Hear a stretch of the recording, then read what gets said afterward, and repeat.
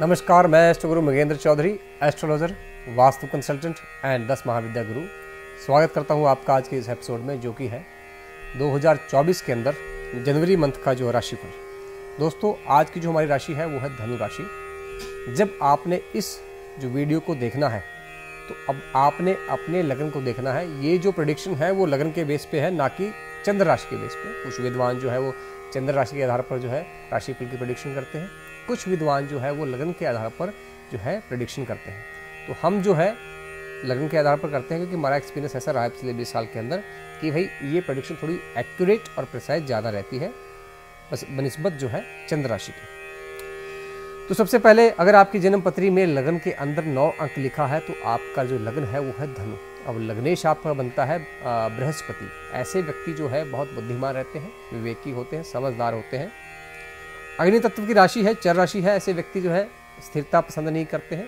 Party करना, घूमना, फिरना, ऊंचाई पे जाना, मान सम्मान की बहुत फ़िक्र होती है। कोई अगर इनका इंसल्ट कर देता है तो ये बहुत जल्दी उससे नाराज़ हो जाते हैं। अगर इज़्ज़त करके इनसे आप इनकी प्राण तक भी मांग सकते हैं। ठीक है? तो ये मोटा मोटा जो है धनु राशि का स्वभाव हो गया है।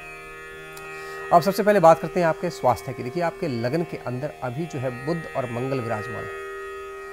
दोनों ग्रह बहुत उत्तम है आपके लिए धनु लग्न के लिए। और लग्नेश, जो बृहस्पति है, वो पंचम स्थान में बैठा हुआ है। बाकी स्वास्थ्य आपका बिल्कुल बढ़िया रहेगा। एक जो समस्या आपको आ सकती है, वो ये है कि आपको एसिडिटी हाइपर एसिडिटी यानी ब्लोटिंग के साथ साथ गैस बनना ब्लोटिंग होना एसिडिटी होना, ये समस्या ज़्यादा रहेगी मई के महीने तक, जब तक गुरु जो है पंचम स्थान में बैठा हुआ तो इसके लिए आपने करना क्या है? इसके लिए आपने बृहस्पतिवार के दिन राम मंदिर के अंदर पुजारी के जो कपड़े होते हैं, धोती, कुर्ता, गमछा, उसका आप जो है पीले रंग के का सिर से घुमा के सात बार बृहस्पति के बीज मंत्र ओम, ग्राम, ग्रीम ग्राम सह, गुरुवे नमः, इसका जाप करते हुए आपने राम मंदिर में दान दे देना है। साथ में जो है एक किलो बेसन के लड्डू भी आप चढ़ा दें, इससे आपको बहुत आराम मिलेगा। अब हम बात करते हैं आपके सेकेंड हाउस यानी आपके धन कुटुंब, ठीक है? और परिवार की स्थिति के बारे में। सेकंड हाउस का जो लॉर्ड है आपका वो शनि है। शनि उत्तम स्थिति में थर्ड हाउस में बैठा हुआ है। तो आपके परिवार में सुख शांति बनी रहेगी। आपकी फैमिली आपको सपोर्ट करेगी। आपके छोटे भाई बहन आपको खूब सपोर्ट करने वाले हैं। दसम स्थान में सेकंड हाउस में भी जो है आपके सूर्य गोचर कर रहा है और एक महीना गोचर करेगा और सूर्य आपका नौमेश है, भाग्यस्थान का मालिक है। तो नई नई धन प्राप्त करने के ऑप्शन आपके सामने आएँगे। अगर आप उनको यूज़ करते हैं तो आपका भाग्य आपका साथ देगा ज़रूर। तो आप स्टॉक मार्केट में पैसा लगा सकते हैं। गोल्डन टाइम आपका चला हुआ। ठीक है? अब हम बात करते हैं आपके थर्ड हाउस के, यानी house of courage communication and confidence का। थर्ड हाउस में शिव राशि का शनि बैठा हुआ है। कॉन्फिडेंस आपका बड़ा चढ़ा रहेगा। पराक्रमी आप बहुत रहेंगे, बहुत मेहनत करेंगे और इससे आपको खूब सफलता भी मिलेगी। थर्ड हाउस में बैठा हुआ शनि, जो कि एक साल तक वहाँ पे बैठा रहेगा। थर्ड दृष्टि जो है आपकी फिफ्थ हाउस पे डालता है, थोड़ा लव अफेयर में आपका जो ईगो है, आपका जो ओवर कॉन्फिडेंस है, वो आपको नुकसान कर सकता है। नाइन्थ हाउस पे शनि की दृष्टि है सेवंथ सेवंथ आसपास जो डली हुई है तो आपके भाग्य को भी प्रबल करेगा और इलेवंथ हाउस पे जो है, उच्च की दृष्टि इसने जो डाली हुई है सॉरी ट्वेल्थ हाउस पे जो उसकी दृष्टि डली हुई है तो फॉरेन रिलेशन से भी आपको बहुत फ़ायदा होने वाला है। धन के जो है नए नए आयाम आपके सामने आएँगे, दूर के लोगों के साथ मिलने से। फॉरन से बिज़नेस भी आ सकता है। ठीक है तो आपने इसको यूटिलाइज करना है। अब हम बात करते हैं आपके फोर्थ हाउस के, यानी house of mother mental peace मकान, वाहन, गाड़ी, बंगला का। सबसे इंपॉर्टेंट हाउसेज में से एक है ये। इसमें आपके अभी नीच का राहु बैठा हुआ है। तो आपको हार्ट की इश्यूज़ हो सकती है। दिल की समस्या कोई ना कोई आपको हो सकती है। फेफड़ों में आपके इन्फेक्शन हो सकता है। ट्यूबरक्लोसिस से बचना है आपको। स्मोकिंग नहीं करनी है, अगर आप करते हैं, छोड़ दीजिए। पान, तंबाकू जो है, गुटखा, वो आपने नहीं खाना है। ठीक है? इसके साथ साथ आपको मेंटल स्ट्रेस रह सकती है, आपको कोई फोबिया हो सकता है। अगर आपकी जन्म पत्री में भी राहु फोर्थ हाउस में नीच का बैठा हुआ है तो इस समय ये गोचर आपके लिए बहुत नुकसान देने वाला है। आपको एक तरह से पागलपन भी आ सकता है। ठीक है? तो लगभग एक साल स्थिति बनी रहेगी अगर ये स्थिति आपकी है तो आपको राहु और केतु की शांति ज़रूर करवानी चाहिए, उसका बड़ा अनुष्ठान, विहित अनुष्ठान आपको ज़रूर करवाना चाहिए। उस अनुष्ठान की जानकारी आप हमसे अपॉइंटमेंट के द्वारा ले सकते हैं। अगर आपका बृहस्पति उत्तम स्थिति में बैठा हुआ है तो आपको पुखराज ज़रूर धारण करना चाहिए। तो एक साल तक पुखराज जो है, बृहस्पति आपको खूब सपोर्ट करेगा और कहीं ना कहीं आप इस सिचुएशन को बैलेंस आउट कर पाएँगे। दूसरा, अगर बृहस्पति उत्तम स्थिति में नहीं है तो आपको बृहस्पति को स्ट्रॉन्ग करने के लिए उसके बीज मंत्र ओम ग्राम ग्रीम ग्रौम सह गुरुवे नमः या बृहस्पति के स्त्रोत्र का लगातार रेगुलरली पाठ करना चाहिए। बृहस्पतिवार का आपको व्रत रखना चाहिए, भगवान विष्णु के सहस्त्र नाम स्त्रोत्र का भी आपको पाठ करना चाहिए, इससे आपको काफ़ी लाभ मिलेगा। माता के साथ संबंध खराब हो सकते हैं। मकान, वाहन, गाड़ी इस समय में ना खरीदें, ना बेचें। एक साल तक जब तक राहु यहाँ बैठा है, ना तो प्लाट खरीदें, ना मकान खरीदें, ना वाहन खरीदें, ना इनको बेचें। आपको बहुत नुकसान हो जाएगा उसमें। चीटिंग आपसे हो सकती है, फ्रॉड आपके साथ हो सकता है। मान लो आप प्लाट खरीदने वाले हैं, आपने पैसे दे दिए हैं, आगे जो ओन जो मालिक है, वो लीगल ओनर ना हो, फ्रॉड भी हो सकता है तो आपके पैसे मर जाएँगे और वो आपको वापस बिल्कुल भी नहीं मिलने वाले। तो आपने बहुत ध्यान से चलना है इसमें। एक साल के लिए वेट करिए, जब राहु पंचम स्थान में गोचर कर जाएगा, ठीक है, तब आप ये काम, सब कार्य कर सकते हैं, अभी वो काम मत करिए।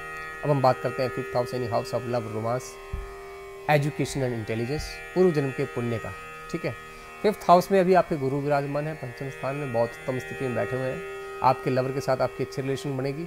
अगर आप किसी लवर को खोज रहे हैं तो आपको आपका मन मुताबिक लवर भी मिलने वाला है। मई तक स्थिति उत्तम बनी हुई है। मई से पहले पहले अगर आप लव मैरिज करना चाहते हैं अपने लवर से तो आप कर लीजिए। वो आपके लिए बहुत बढ़िया रहेगी। क्योंकि मई के बाद जब गुरु आपका सिक्स हाउस में गोचर कर जाएगा, तब आपकी स्थिति जो है ख़राब होने वाली है। आपका लवर आपसे दूर जा सकता है। अगर पॉसिबिलिटी है तो मई से पहले पहले आप शादी कर लें। दूसरा, जो बच्चे पढ़ाई में अभी रत हैं कंपटीशन की तैयारी कर रहे हैं गवर्नमेंट एग्ज़ाम की तैयारी कर रहे हैं, उनके लिए गोल्डन अपॉर्चुनिटी भी बनी हुई है। मई से पहले पहले अगर आपका कोई एग्ज़ाम है तो आप उसको पूरी मेहनत से दीजिए, आपको डेफिनेटली उसके अच्छे रिज़ल्ट मिलने वाले हैं। ठीक है? अब हम बात करते हैं सिक्स हाउस की, यानी house of disease enemies and court cases six house का आपका लॉर्ड बनता है, शुक्र बैठा है बारहवें स्थान पर। जिन व्यक्तियों का अभी कोर्ट केस चला हुआ है तो उनको अभी जेल योग बना हुआ है। यानी आपको जेल हो सकती है। अगर पॉसिबिलिटी है तो अपनी जो है हीरिंग को कोर्ट की हीरिंग को यानी तारीख को आप टाल दें। 19 तारीख के बाद आपको जो है उसमें फ़ायदा मिल जाएगा आप शायद बच जाएँ। उतने दंड से जितना आपको मिलना चाहिए। ठीक है? इसके साथ साथ आपको बेड प्लेजर की अपॉर्चुनिटी बहुत मिलेंगी बट आपके ऊपर बदनामी का खतरा भी बना रहेगा। तो बहुत सावधानी से आप रहिए दो तीन दिन के अंदर अंदर किसी भी झमेले में मत पड़िए। ठीक है? सोच समझ कर ही आगे रिलेशनशिप में जाइए। अब हम बात करते हैं सेवंथ हाउस की यानी house of marriage partnership and business uh, का। आपका फोर्थ हाउस का लॉर्ड है बुद्ध। सॉरी सेवन्थ हाउस का आपका जो लॉर्ड है वो बुद्ध है। वो बैठा है लगन के अंदर ठीक है? बहुत बढ़िया स्थिति में है। अगर आपकी शादी नहीं हो रही है तो आपकी शादी होने वाली है। इस मंथ में अगर आप शादी करना चाहें तो आपके लिए बेस्ट रहेगा। आपकी लाइफ पार्टनर आपको खूब सपोर्ट करने वाली है। आप खूब इंजॉय करेंगे अपनी मैरिड लाइफ को। आपका बिज़नेस पार्टनर आपको खूब सपोर्ट करेगा। आप बिज़नेस में पार्टनरशिप में जा सकते हैं। कोई जॉइंट वेंचर खोल सकते हैं। पार्टनरशिप में पैसे इन्वेस्ट कर सकते हैं, आपके लिए फ़ायदेमंद रहेंगे। ठीक है? कोई कंसल्टेंसी फर्म आप खोल सकते हैं। या फिर कोई मीडिया का इंडस्ट्री आप खोल सकते हैं मीडिया हाउस आप खोल सकते हैं। तो ये सारी अच्छी अपॉर्चुनिटीज़ आपके लिए एक महीने के लिए बनी हुई है जब तक बुद्ध आपका लगन में बैठा है। अगर बुद्ध उत्तम स्थिति में आपकी जन्मपत्री में बैठा हुआ है तो आप बुद्ध का पन्ना डालें इससे आपके प्रॉफिट जो है मोर देन टेन टाइम्स जो है मल्टीप्लाई हो जाएँगे।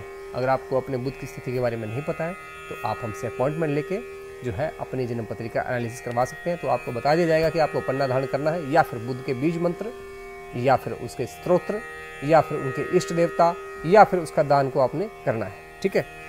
अब आप बात करते हैं आपके एट्थ हाउस यानी house of longevity chronic disease ठीक है?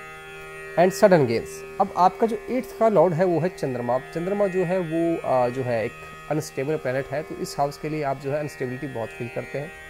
चंद्रमा भी आपका राहु के साथ फोर्थ हाउस में बैठा हुआ है तो आपको अगर आप प्लॉट में पैसा लगाते हैं तो आपका वेस्ट चला जाएगा। स्टॉक मार्केट में अभी दो दिन के लिए पैसा मत लगाइए, जब तक चंद्रमा वहाँ बैठा हुआ है, खास करके रियल इस्टेट के अंदर, या फिर कपड़े के अंदर।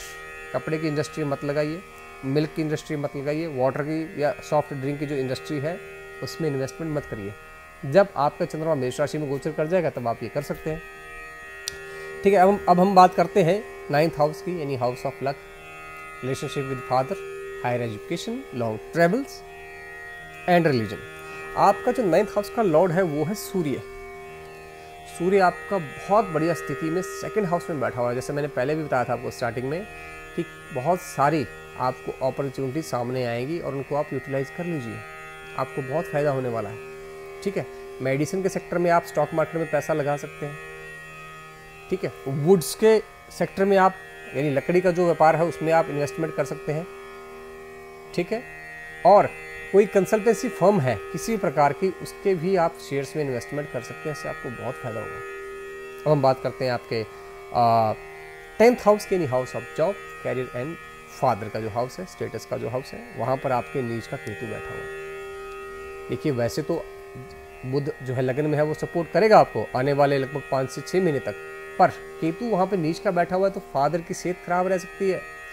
फादर को चोट लग सकती है या फादर को हार्ट की इश्यूज़ आ सकती हैं। अगर आपके फादर स्मोकिंग करते हैं तो उनको रोकिए, वरना उसके लिए, वो उनके लिए बहुत जो है, नुकसानदेह होने वाला है। नुकसानदेह जो है, होने वाला है। अब हम उसकी बात करते हैं कि भाई जॉब के बारे में। देखिए, अगर आप जॉब करते हैं तो आपका अपने जो है, बॉस से झगड़ा हो सकता है। उसका कारण हुआ कि आपके जो वहाँ पे कुलीग हैं, आपके जो साथ काम करने वाले हैं, वो आपकी चुगली करेंगे, आपकी पीठ पीछे आपकी निंदा करेंगे, जिससे आपका बॉस आपके एंटी हो जाएगा। तो आपने इस स्थिति में बॉस से आर्ग्यूमेंट्स नहीं करनी है। आपने पेशेंस रखनी है और इस बात का पता लगाना है कि बॉस आपसे नाराज़ क्यों है। फिर एविडेंस इकट्ठी करनी है और बॉस के सामने प्रोड्यूस करनी है कि आप बेकसूर हैं। इससे क्या होगा बॉस जो है आपके फेवर में आ जाएगा और जो आपके खिलाफ उनको भड़काते हैं, वो उनसे एंटी हो जाएँगे और आपकी सुनवाई वहाँ पर हो जाएगी। फिर भी अगर स्थिति बहुत ज़्यादा खराब है तो आपको केतु की शांति करवानी चाहिए। आपको बुद्ध का पन्ना भी ज़रूर धारण करना चाहिए। ठीक है? पन्ना आप धारण कर सकते हैं, नहीं, इसके लिए आप अपनी जन्म पत्रिका एनालिसिस करवा सकते हैं। दिए गए नंबर्स पे अपॉइंटमेंट लेके आप हमसे बात कर सकते हैं। अब हम बात करते हैं लेमथ हाउस यानी house of gains networking friend circle house of elder siblings देखिए, इलेवंथ हाउस के सारे मैटर्स आपके फेवर में नहीं जाने वाले हैं। आपका अपने बड़े भाई बहन से झगड़ा हो सकता है। आप उनके साथ किसी कोर्ट केस में उड़ सकते हैं। वो आपका नुकसान कर सकते हैं, वो आपका पैसा भी मार सकते हैं। आपका जो नेटवर्क सर्कल, नेटवर्क है, वो भी आपका पैसा खराब कर सकता है। तो अपने फ्रेंड सर्कल में पैसा ब्लाइंडली मत इन्वेस्ट करना, बहुत सोच समझ करके, सोच समझ कर जो है, डॉक्यूमेंट्री एविडेंस के साथ आप जाइए। तब आपको कुछ फ़ायदा हो सकता है। बट इसके साथ साथ फॉरेन कंट्रीज़ में आपके वेंचर जो है, वो एस्टेब्लिश हो सकते हैं। आप फॉरेन के अंदर डील कर सकते हैं। कुछ पैसा आप कमा सकते हैं, खास करके लेडी लेडी आइटम्स के अंदर। ठीक है लग्जरी आइटम्स के अंदर डायमंड्स के बिज़नेस के अंदर जैम स्टोन का जो बिज़नेस है उसके अंदर भी। तो ये सारा मोटा मोटा जो एक एनालिसिस था, मैंने आपके लिए बता दिया है जनवरी मंथ के लिए। फर्दर इन डेप्थ एनालिसिस के लिए आप हमसे अपॉइंटमेंट लेके बात कर सकते हैं, अपनी कुंडली का विश्लेषण करवा सकते हैं। अगर आप किसी गंभीर समस्या से जूझ रहे हैं तो उसके लिए भी आप उपाय हमसे करा सकते हैं। डेफिनेटली आपको आराम मिलेगा। हम 100 परसेंट मनी बैक गारंटी भी देते हैं। यदि आप हमसे पूजा वगैरह करवाते हैं तो अगर आपको फल ना मिले निश्चित समय के अंदर तो आपका पैसा वापस कर दिया जाता है। इसके साथ मैं मृगेंद्र चौधरी आपसे अब इजाज़त लेता हूँ। Good luck have a nice time